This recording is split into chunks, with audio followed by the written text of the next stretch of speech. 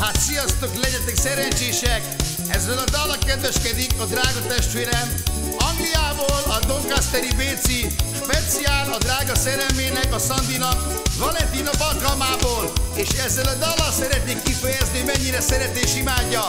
A jó Isten segítsen meg titeket, erőben, egészségben, boldogságban, soha nem a boldogságban, a szutodértes